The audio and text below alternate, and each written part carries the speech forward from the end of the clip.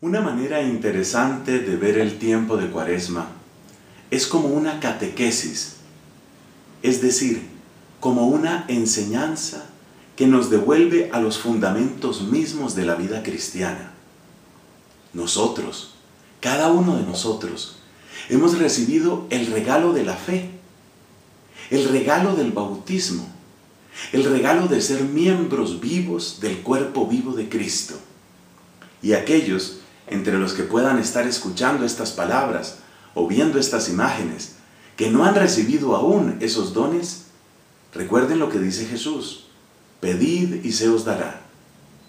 Así que yo cuento con ese dato. Tenemos el gran regalo de la fe y el gran regalo de ser de Jesús, ser miembros vivos de su cuerpo. Así que lo que estamos haciendo en la cuaresma es como una purificación, como limpiar la casa. Pero esa casa que es la iglesia somos todos nosotros y el esfuerzo que cada uno hace en esa purificación interior redunda en bien de todos. Es como una gran familia en la cual cada uno de los hijos tiene su cuarto. Y si todos se ponen de acuerdo y cada uno limpia y ordena su habitación, al final la casa es mucho más agradable y mucho más habitable. Eso es lo que tenemos que hacer en Cuaresma. Hoy tenemos dos pasajes del capítulo 58 de Isaías y del capítulo 5 del Evangelio según San Lucas. El capítulo 5 de Lucas es precioso, nos cuenta entre otras cosas lo que hemos oído hoy, como Jesús dice, no he venido a llamar a los justos sino a los pecadores, no he venido a llamar a los sanos sino a los enfermos. Yo creo que es una invitación para cada uno de nosotros, para que no nos digamos mentiras, para que reconozcamos que sí hay cosas que tienen que cambiar y mejorar en nuestras vidas. Negarse a cambiar es negarse a mejorar. Fíjate cómo ese sería un acto de odio hacia uno mismo. Por eso la cuaresma, lejos de ser un tiempo deprimente, es un tiempo que en medio de su seriedad y de su austeridad tiene una grande y muy buena noticia la noticia de que podemos, con la gracia de Dios y con nuestra respuesta generosa, ser mucho mejores de lo que parecemos, mucho mejores de lo que somos hoy.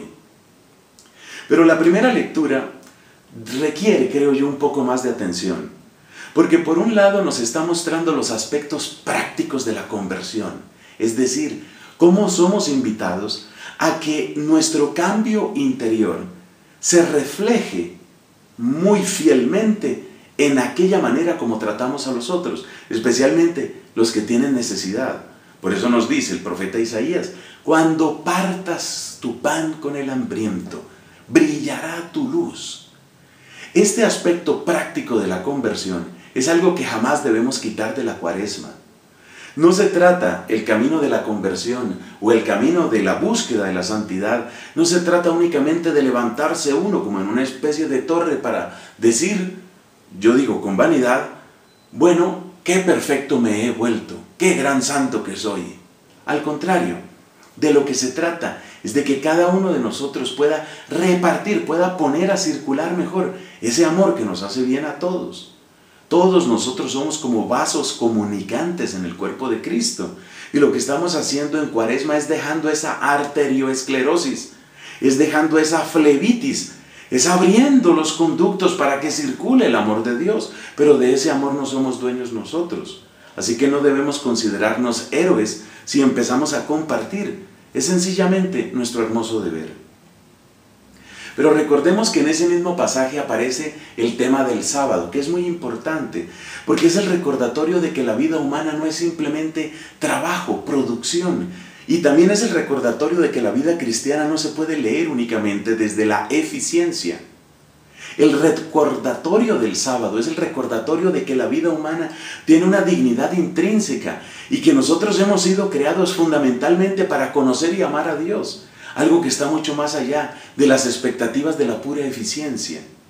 O sea que qué hermoso es el panorama de vida cristiano que nos deja ver Isaías en este capítulo 58 de lo que se trata es de una vida que da fruto en esta tierra, pero que sabe levantarse y sabe mirar mucho más allá de todo lo creado, hasta el Creador.